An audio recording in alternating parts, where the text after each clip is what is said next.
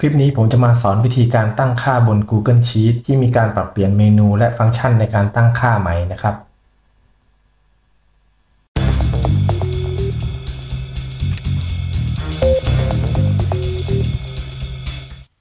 สวัสดีครับ พบกับผมในช่องจัก DIY นะครับ สืบเนื่องมาจากคลิปในตอนที่แล้วที่ผมทำไว้เกี่ยวกับการบันทึกค่าอุณหภูมิและความชื้นที่อ่านได้ จากเซ็นเซอร์ DHT11 ขึ้นไปเก็บบน Google Sheet เมื่อประมาณ 5 เดือนที่แล้ว ก่อนหน้านี้ก็ยังสามารถตั้งค่าและใช้งานได้ตามปกติ แต่ล่าสุดในวันนี้ในช่วงต้นเดือนกุมภาพันธ์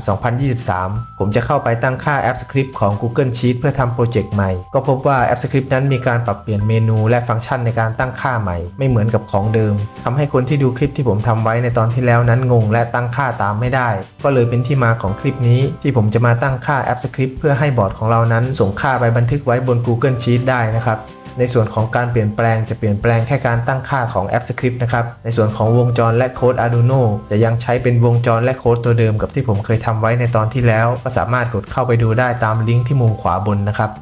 เรามาเริ่มขั้นตอนในการตั้งค่า Google Sheet กันเลยนะครับ ก็ให้เปิดเว็บเบราว์เซอร์ขึ้นมา แล้วก็ login ด้วยบัญชี Google ของเราเข้าไป ตรงนี้ใครที่มีการ login บัญชี Google ไว้หลายบัญชี ก็ให้ logout บัญชีอื่นออกให้หมดก่อน เหลือไว้แค่บัญชีที่เราต้องการสร้าง Google Sheet นะครับ จากนั้นก็ให้กดเปิดชีตออกมา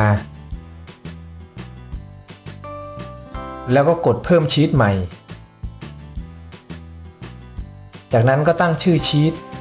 ผมตั้งชื่อว่า DHT Sheet 2023 นะครับ ต่อไปก็ตั้งชื่อคอลัมน์ A B C และ D ผมตั้งเป็น Date Time Temperature และ Humidity นะครับ จากนั้นก็คลิกไปที่ส่วนขยาย แล้วเลือก App Script ผมตั้งชื่อ App Script ว่า DHT Sheet 2023 เหมือนกันนะครับ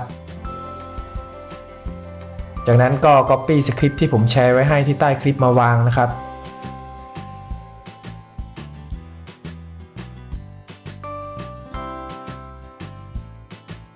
และในสคริปต์ตัวนี้เราก็จะต้องทำการแก้ไขนิดนึง ก็คือการนำชีต ID ของ Google Sheet ของเรามาวางที่ตรงนี้ ก่อนอื่นก็คลิกไปที่ปุ่ม Save ก่อนนะครับ จากนั้นก็กดไปที่แท็บของชีตของเรา แล้วก็ให้ทำการ Copy Sheet ID ที่อยู่ต่อจาก D/ ไปจนถึง slash edit นะครับ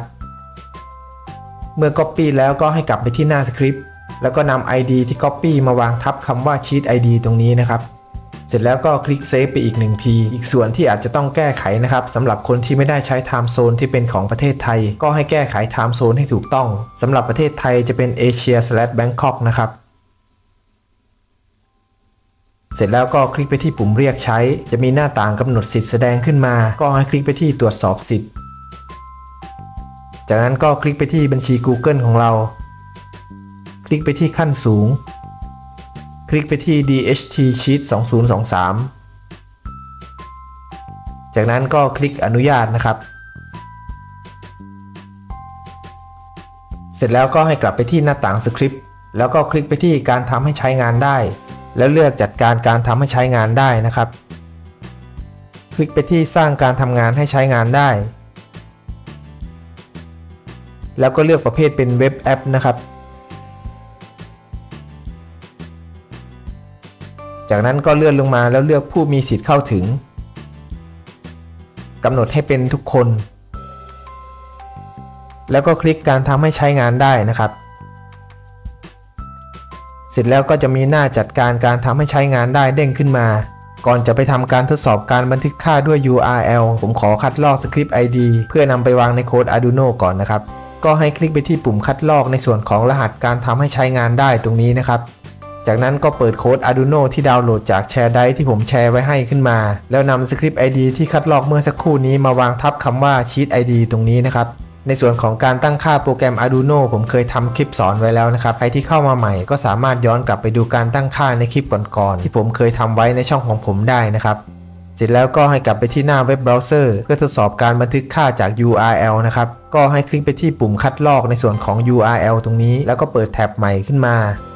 จากนั้นก็พิมพ์เครื่องหมาย question mark แล้วตามด้วยคำว่า temperature เท่ากับ 25 เพื่อบันทึกค่าอุณหภูมิ 25 องศา ไปที่คอลัมน์ของอุณหภูมิบน Google Sheet นะครับจากนั้นก็พิมพ์เครื่องหมาย and แล้วก็ตามด้วยคำว่า humidity เท่ากับ 50 เพื่อบันทึกค่าความชื้น 50%ไปที่คอลัมน์ของความชื้นบน Google Sheet นะครับ เสร็จแล้วก็กดปุ่ม enter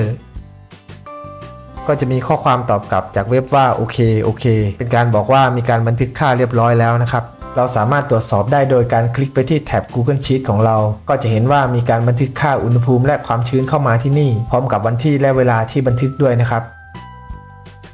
ผมกลับไปที่แท็บเดิม แล้วลองเปลี่ยนค่าตัวเลขแล้วส่งใหม่ดูอีกครั้งนะครับ ก็จะเห็นว่ามีการบันทึกข้อมูลตัวใหม่เข้ามาที่ Google Sheet นะครับ แบบนี้ก็แสดงว่าการตั้งค่า Google Sheet และ App Script ของเรานั้นเสร็จสมบูรณ์แล้ว ขั้นตอนต่อไปผมก็จะต้องอัปโหลดโค้ดไปที่ Node MCU เพื่อที่จะได้ส่งข้อมูลขึ้นมาไว้บนชีตตัวนี้นะครับ ก็ให้กลับไปที่โปรแกรม Arduino ที่ได้แก้ไข Script ID ไว้แล้วเมื่อสักครู่นี้ จากนั้นก็ใส่ชื่อและรหัส Wi-Fi ที่จะให้ Node MCU เชื่อมต่อเข้าไป การแก้ไขโค้ดในคลิปนี้ผมจะไม่ได้พูดถึงมากนะเพราะผมเคยอธิบายไว้แล้ว ถ้าใครติดตรงไหนก็ลองย้อนกลับไปดูคลิปก่อนๆได้นะครับ เมื่อแก้ไขข้อมูลที่จำเป็นเรียบร้อยแล้ว ก่อนอัปโหลดโค้ดทุกครั้งให้ตรวจสอบว่าบอร์ดและพอร์ตที่เลือกนั้นถูกต้องหรือเปล่า เมื่อตรวจสอบเรียบร้อยแล้วก็ให้อัปโหลดโค้ดไปที่ Node MCU ได้เลยนะครับสำหรับคลิปตัวอย่างนี้ผมจะให้ Node MCU ส่งค่าอุณหภูมิและความชื้นไปเก็บไว้บน Google Sheet ทุก ๆ 30 วินาทีนะครับ เมื่ออัปโหลดโค้ดเสร็จแล้วก็ให้เปิดหน้า Google Sheet ของเราเอาไว้ เพื่อจะดูว่ามีข้อมูลส่งเข้ามาทุก ๆ 30 วินาทีตามที่ตั้งไว้หรือเปล่านะครับ ดี๋ยวผมขอเร่งสปีดคลิปเพื่อให้ได้เห็นการอัปเดตที่เร็วขึ้นนะครับ ก็จะเห็นว่ามีข้อมูลส่งขึ้นมาทุกๆ 30 วินาทีตามที่ตั้งไว้นะครับ ก็จบไปแล้วนะครับสำหรับคลิปการตั้งค่า Google Sheet อัปเดตช่วงต้นปี 2023 หวังว่าคลิปนี้จะเป็นประโยชน์สำหรับผู้ที่สนใจนะครับสำหรับคลิปนี้ผมก็จะขอจบไปเพียงเท่านี้ฝากกดไลค์กดแชร์กดติดตามเพื่อเป็นกำลังใจด้วยนะครับ ขอบคุณครับ